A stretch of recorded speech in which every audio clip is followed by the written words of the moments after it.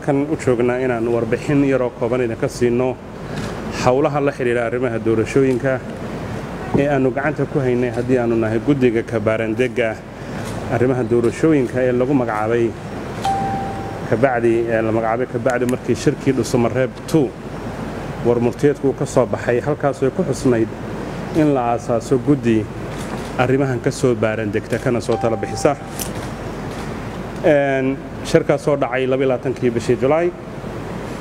Intaa kabacdi guddigii baa la aasaasay. Shaqo hordhaca ayaannu soo qabannay. Oo arrimahaannu u igmaneen la xidhiidha doorashooyinka ka tala bixintoodii. Magaalada muqdisho ayaannu ku kulannay guddigii haddaannu nahay. Qorshayaal iyo shaqooyin hordhaca baannu soo qabannay. Kabacdi halkan ayaannu nimi bisha keedii labadii cisho ee aannu halkan joognayna shaqaannu ku jirnay.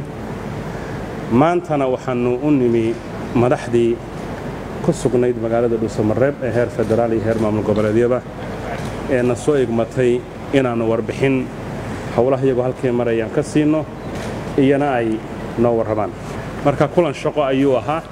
Shaqadii ay ummadda soomaaliyeed naga sugaysay haddii aan idiin guud maro hawshu halka ay marayso markii lana magacaabay kabacdi sida aad ka war haysaan warbaahintana aad ku aragteen waxaannu kulamo hordhaca horta qorshe hordhaca aannu ku shaqaysanno baannu samaysannay.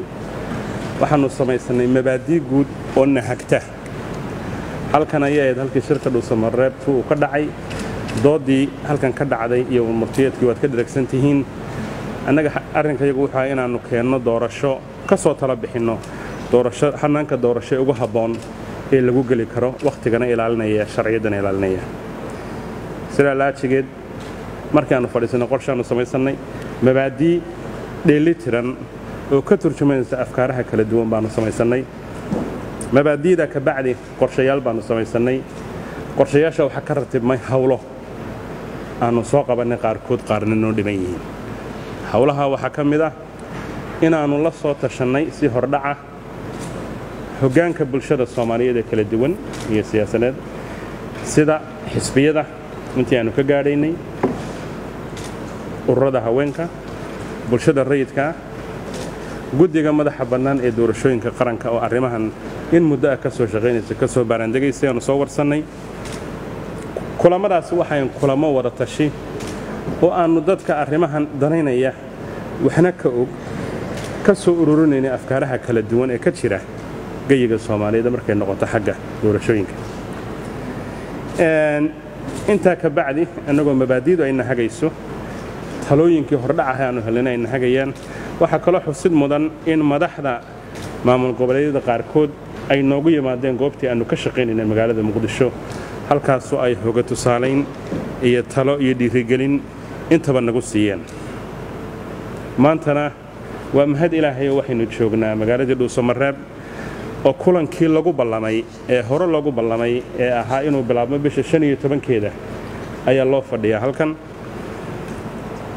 waxaannu u nimi maanta madaxda warbixintaasaannu siinay waratashiyadii aannu soo fulinnay shaqadeedu halka ay noo marayso kabaaraandegga iyo fikirka iyagu halka uu marayo markay noqoto xagga bal xulashooyinka kala duwan ee doorasho lagu geli karo.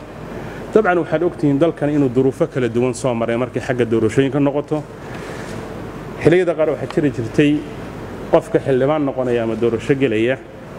Uu hogaamiye kooxeed magacaabi jiray. Xilliyada qaar oday dhaqameed keliya magacaabi jiray.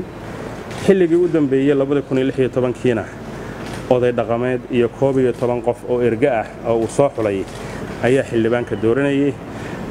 Tadawurka qori isudhiibka ee maalinba wax laga soo gudbayey bay dadka soomaaliyeed soo mareen. Maantana tala ayaa taallamiiska taladaasina madax bay leedahay arrintaa go'aan ka gaadhaysa. Iyo annagoo farsamo ahaan u yegman hawshan inaannu soo xallinno weliba anugu arrimahan horaan uga soo shaqeeyey tobankii baan ka soo shaqeeyey. Wax badan ayaannu markaa ka fahansannahay arrimaha kala duwan ee loo baahanyay in laysu miisaamo. Marka labada kun iyo lix iyo tobankii iyo labada kun iyo labaatanka sannada intaasoo sannadood baa u dhexeeya waxaa kaloo u dhaxaysa hayaan la doonayo soomaalidu inay gasho oy ka guurto wixii hore oy meel kale u guurto. Meeshaas oo mabaadi'da guud ee nahagaysa ay sheegayaan inay noqoto in dadka soomaaliyeed ay fursad u helaan inay u codeeyaan qofkii mateli lahaa siyaasiyan.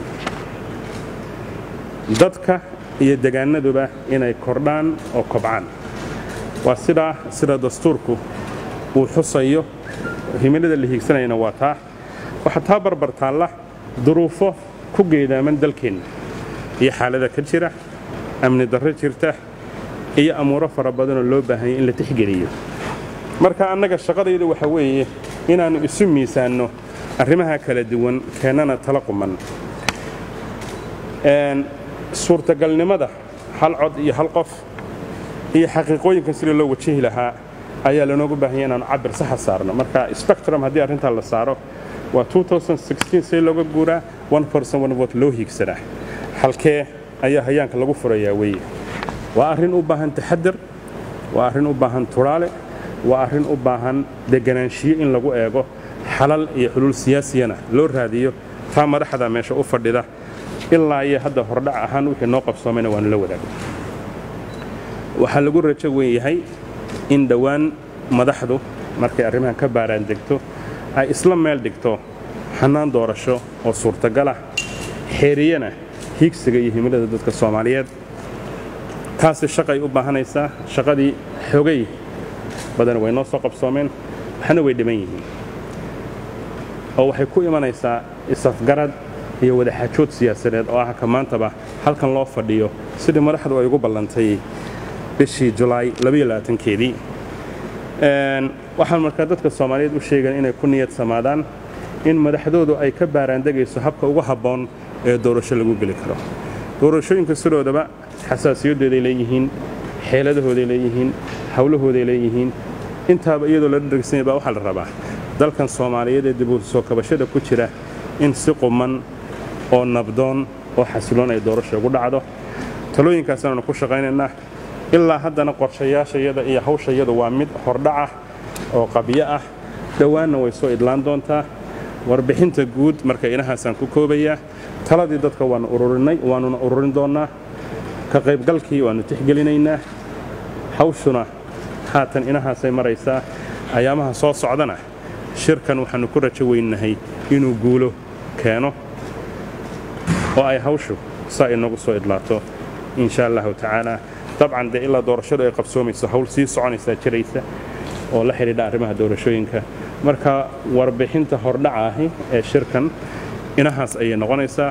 Kulanka maantuna kulamadii howleed ee lanoo igmaday mid ka mida buu ahaa oo aan warbixin ku siinayno madaxda heerarka kala duwan ee halkan ku sugan. Waa mahadsantiin dhammaantiin